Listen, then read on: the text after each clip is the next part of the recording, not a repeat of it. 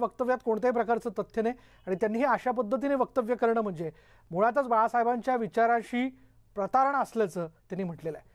पाहुयात दुसरीकडे कालच काँग्रेसचे प्रदेशाध्यक्ष नाना पटोले यांनी स्थानिक स्वराज्य संस्थांमध्ये स्वबळावर लढण्याची घोषणा केली होती. तसंच आज संजय राऊत यांनीही आम्हीही निवडणुका स्वबळावर लढवू शकतो असं सूचक विधान केलंय. मी काँग्रेस पक्षाचा अध्यक्ष आहे. त्याच्यामुळे माझ्या पक्षाची भूमिका मी जाहीर करेल दुसऱ्यांना तर जाहीर करताच येणार नाही.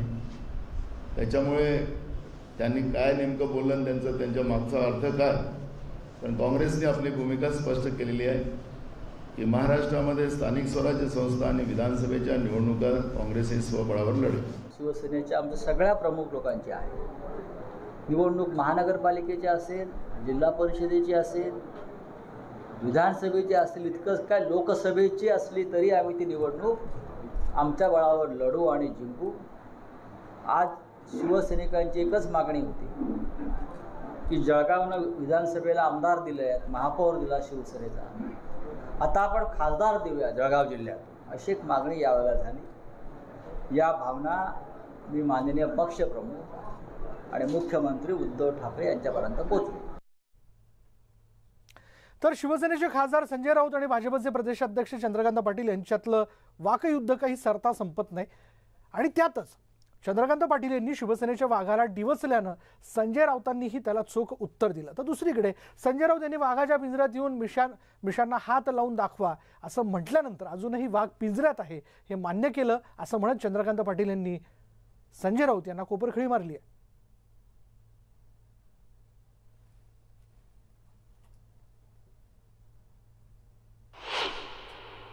वाघाशी दोस्ती करावी यासाठी त्यांनी मला वाघ भेट दिलेला आहे.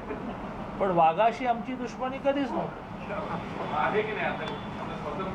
स्वतंत्र उद्धव ठाकरेंनी सांगितलं की आपली जुनी मैत्री आहे. नाही त्यांची जुनी मैत्री मोदींशी आहे. ते काय म्हणतात की माझं फडणवीसांशी आणि पाटलांशी जमत नाही. त्यामुळे त्यांचं म्हणणं ते बरोबर आहे. त्यांची तिकडे दोस्ती तिकडे असती तर अठरा महिन्यापूर्वी सरकार आलं असतं. वाघाशी कधी मैत्री होत नाही फार. वाघ ठरवतो कोणाशी मैत्री करायची. दुसरा सगळ्या चंद्रकांतदादा चंद्रकांत दादा पाटील यांचाच वाढदिवस आहे मी आपल्या सगळ्यांच्या माध्यमातून चंद्रकांतदादा पाटील यांना वाढदिवसाच्या मनापासून शुभेच्छा देतो. आणि त्यांच्या मनातल्या सगळ्या इच्छा पूर्ण हो त्यांना कोणाकोणाशी मैत्री करायची आहे त्याची यादी त्यांनी पाठवून द्यावी त्यानुसार आपण त्याच्यावरती काम करू. चंद्रकांत दादा पाटील आमचे मित्र आहेत. ठीक आहे ते आमच्यावर टीका करतात आम्ही त्यांच्यावर टीका करतो. राजकारणामध्ये असं होत असतं. पण आज त्यांचा वाढदिवस आहे त्यांना ठिकठिकाणी गोडधोड खावं गोड बोलावं केक कापावे पक्ष कार्यकर्त्यांना भेटावं. गोड माणूस आहे. राऊतांचं जे म्हणणं आहे ते खरं आहे.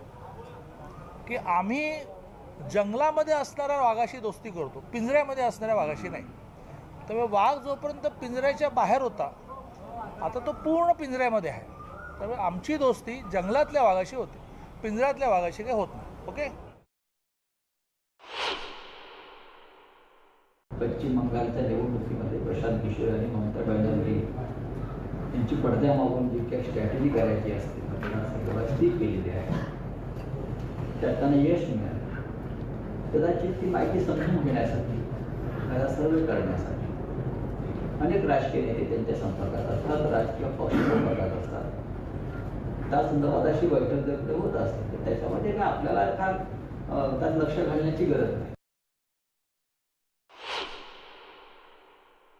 मी पहिलं संजय राऊतांचे आभार मानण्यासाठी मला घाई असतानाही म्हटलं की एक मुद्दा राहिला की त्यांनी वाघ पिंजऱ्यात आहे मान्य केलं. मान्य केलं बरोबर? क्रम सांगतो. मी असं म्हटलं की वाघाशी आमची दोस्ती होऊ शकते. मग राऊत असं म्हणाले की वाघ जंगलात राहतो तो ठरवतो. मग मी असं म्हटलं की नाही आम्हाला पिंजऱ्यातल्या वाघाशी दोस्तीच करायची नाही ते असं म्हणतायत की पिंजऱ्यातल्या तेच म्हणतात बुवा. पिंजऱ्यातल्या वाघाच्या मिशीला हात लावून बघा. म्हणजे त्यांनी वाघ पिंजऱ्यात आहे मान्य की माझा तेवढाच मुद्दा आहे. चला.